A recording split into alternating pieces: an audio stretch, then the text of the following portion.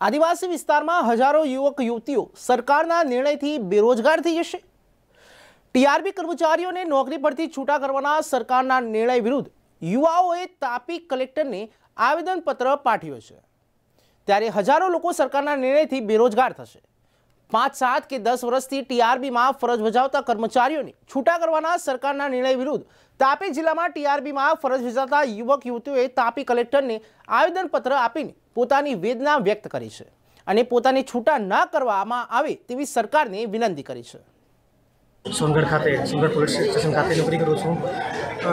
ત્રણ દિવસ પહેલાં ડીજીમાંથી પરિપત્ર આવ્યું છે કે ત્રણ વર્ષથી ઉપરના તમામ ટીઆરબીઓને છૂટા કરી દેવામાં આવશે. જે બી ટીઆરબી દસ વર્ષથી એક જ જગ્યાએ પર નોકરી કરે છે, એમને છૂટા કરી દેવામાં આવશે. જેમનો એ સમયગાળો એક મહિનાનો એ લોકોએ આપ્યો છે અમને.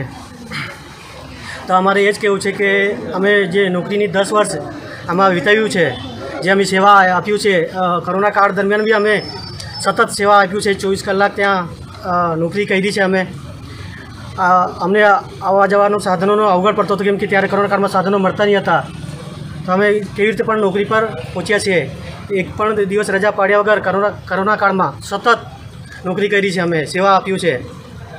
ને અત્યારે આ પરિપત્ર જે બહાર પાડ્યું છે કે છ છ હજાર ચારસો ટીઆરબીઓને છૂટા કરી દેવામાં આવશે અને એમના જગ્યાએ બીજી ભરતી કરવામાં આવશે.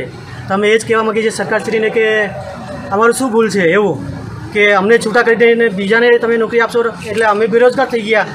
તો અમે બેરોજગાર થઈ ગયા તો અમને નોકરી કોણ આપશે બીજે, જે દસ વર્ષ અમે વિતાવ્યું છે, આજે અમારી ઉંમર બત્રીસ વર્ષની થઈ ગઈ છે. હવે અમે ક્યાં જઈએ નોકરી શોધવા માટે? બીજી નોકરી શોધીએ. બીજી નોકરી શોધતા આટલી જલ્દી તો કોઈ નોકરી મળી જવાની છે નથી. અમને ત્યાર સુધી અમારા પરિવારને કોણ જોશે કે એમને ભરણ પોષણ કોણ પૂરું પાડશે? મારું નામ રિંકલબેન ગામિત છે.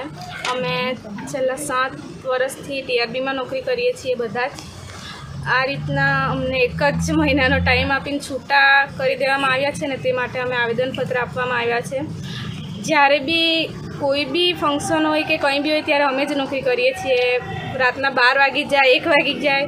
તેનું કંઈ બી જોતા નથી, જમવાનો ટાઈમનું બી કંઈ જોતા નથી. લોકડાઉનમાં બી અમે આખા લોકડાઉનમાં નોકરી કરી. ત્યારે બી અમે અમારા જીવના જોખમે નોકરી કરી. કોઈ બી પ્રકારના ઇન્સ્યોરન્સ વગર. કેટલા વર્ષથી આપ આ ટીઆરબી નોકરી કરો છો? અમે સાત વર્ષથી બે હજાર સત્તરની ભરતી છે જો આપણે આ નોકરીમાંથી કાઢી મૂકીએ તો આપણે કઈ કઈ તકલીફ પડી શકે છે? બધી જ તકલીફ પડી શકે. કેમ કે અમારા અમારા પરથી જ ઘર ચાલે અમારું. પછી તો એકદમ જ કંઈ રોજગારી નહીં હોય તો અમે તો બેરોજગાર જ થઈ ગયા હમણાં તો. સેમ્યુલ ગામિત સોનગોટ ટીઆરબી કેટલા સમયથી આપ આ ટીઆરબીમાં નોકરી કરો છો? અને લગભગ આ નવમું વર્ષ ચાલતું છે નવ વર્ષ થઈ ગયા. શું હતી આપની ફરિયાદ અહીં? ફરિયાદ અમારે એવી છે કે અમે છેલ્લા નવ વર્ષથી ટીઆરબીમાં રેગ્યુલર નોકરી કરીએ છીએ. કોઈ બી એક ઓછું વતન મળે છે એ બી છે અમારો મુદ્દો. એનાથી પરિવાર અમારું ચાલતું નથી. ઘરમાં હવે જ્યારે અન્ય કચેરીઓમાં આઉટસોર્સિંગ તથા બીજી કરાર આધારિત જે નોકરી કરે છે અન્ય શાખાઓમાં એ લોકોનો જ્યારે પગાર વધારાનો આવ્યો ત્યારે અમને આશા હતી સરકારથી કે અમારું બી કંઈ થશે. પણ અમને એક ઝટકામાં છૂટાકારાનું લેટર આવી ગયું છે. અચાનક આવી ગયું છે. અમારે જે પરિવાર ચાલે છે અમારા થ્રુ એમાં ખૂબ જ અગવડતા પડે એવું છે અમને. સરકારથી અમને આશા છે કે અમારા માટે કંઈ સારો નિર્ણય કરશે સરકાર.